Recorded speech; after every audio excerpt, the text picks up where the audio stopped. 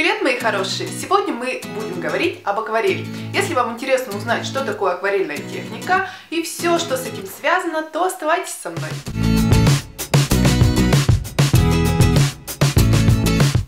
Акварель в переводе с французского «водянистая» это полностью характеризует технику акварельной живописи, потому что в краске нет белил, в отличие от гуаши. В составе только пигмент и клей, и за счет растворения данной краски в воде получается очень тонкий, прозрачный красочный слой, что делает акварель такой легкой, воздушной, приятной и, самое главное, живописной. Цвет не забит белилами и акварель считается одной из самых живописных красок.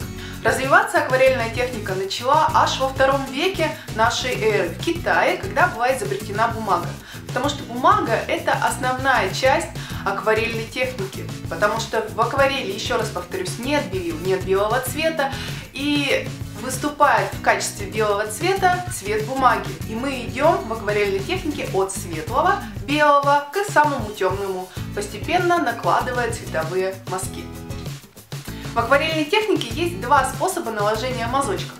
А, либо по сырому а-ля прима, когда полностью смачивается лист и на сырую поверхность наносятся мазки, при этом они начинают растекаться и перемешиваться между собой, получая красивые цветные переливы. Либо методом листировки, когда э, каждый слой просушивается, накладываются по слой на мазочки, создавая объем предмета. Это более кропотливая и детальная проработка и требует очень-очень много времени. Также акварельная техника требует предварительный точный карандашный рисунок, так как э, в акварели мы не можем совершать ошибки. Нам изначально нужно очень точно отрисовать предмет, либо объект, который мы рисуем, только потом приступать к акварели. Но думаю, с акварельной техникой все понятно. Теперь давайте поговорим про материалы. Что же выбрать? Начнем мы с акварельной краски. Как же выбрать нужную нам акварельную краску и при этом не прогадать? Первым делом, что мы должны выбрать, так это что взять, кюветы или тубы. Сразу скажу, тубы это вариант не для экономных. Если вы не собираетесь рисовать огромное количество акварельных работ, лучше их отложить в сторону. Когда мы определились, что берем акварель в кюветах, перед нами встает выбор, какую же взять акварель детскую, ученическую или профессиональную.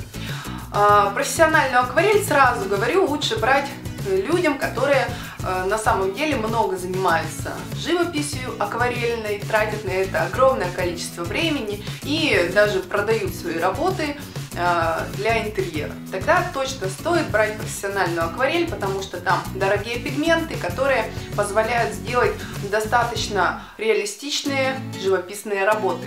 Если же вы новичок, то между детской и ученической я посоветую вам взять ученическую акварель, потому что детская акварель, ее еще называют медовой, она подходит действительно только для детского творчества, потому что медовая акварель по составу, конечно, уже давно в состав медовой акварели не кладут мед, как раньше, его заменяют уже другими, более дешевыми аналогами.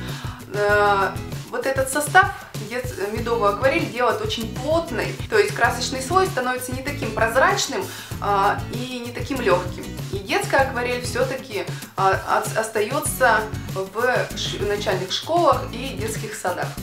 Я же советую вам обратить внимание, если вы новичок и только хотите взять себе акварель, то присмотреться именно к ученической акварели, а, например, к сонет акварели, либо акварели Ладога. Краска недорогая и позволяет создавать действительно достойные акварельные работы. Единственное отличие ученической акварели от профессиональной, так это то, что ученическая, она более яркая за счет ненатуральных пигментов. А у профессиональной акварели, таких как э, Невской палитры, всевозможные зарубежные марки, там э, пигменты идут натуральные, клеевые растворы тоже очень дорогие, поэтому сама по себе краска очень натуральных цветов и приятна в работе в плане наложения цвета. Но ученическая акварель, еще раз повторюсь, уступает только тем, что пигменты там не натуральные, за счет этого крас, краски немножко ярче, чем нужно. Но с этим можно справиться. Когда мы выбрали акварель, переходим к бумаге. Как я и сказала, бумага это основная часть акварельной техники. Бумагу стоит выбирать именно акварельную, э, тогда точно не прогадаете. Могу дать пару советов, как правильно выбрать акварельную бумагу. Первое – это то, что мы берем бумагу не тоньше 200 грамм. То есть если стоит на упаковке цифра 160, 80, то это точно не для нас, а если 200 и больше, то эта акварельная бумажка точно нам подойдет. Второе, это нам нужно обратить внимание на состав акварельной бумаги. И если в составе есть хлопок, то смело берите эту бумагу, потому что хлопок помогает более равномерно впитывать акварельную краску, акварельные переливы и не оставляет на себе разводов. То есть в работе бумага, в которой содержится хлопок, намного-намного удобнее. Ну и третье, на что стоит обратить внимание, так это на текстуру бумаги. Не берите гладкую бумагу, на гладкой бумаге акварель слишком сильно стекает и неравномерно впитывается. Если вы наоборот увидите слишком грубую текстуру, тоже не советую брать, потому что на грубой текстуре не получится обрисовать тонкие детали. А, эта текстура бумаги нам будет мешать. Советую обратить внимание на полугладкую текстуру, э, то есть с небольшой перфорацией. Тогда на этой бумаге будет рисовать одно удовольствие, вы сможете и наносить равномерно э, красочный слой, и также э, удачно наносить тонкие линии. И последнее, о чем мы с вами сегодня поговорим, это о кистях. Для акварели подходят кисти колонок, белка и мягкая синтетика. Колонок кисточка хорошая, хорошо держит воду, упругий ворс позволяет сделать тонкие линии. Белка намного больше держит в себе воды, и ее советуют использовать в технике а-ля прима, когда нам нужно много воды и немножко пигмента. Белочка мягкая, делает очень мягкие мазочки, ей удобно работать акварелью.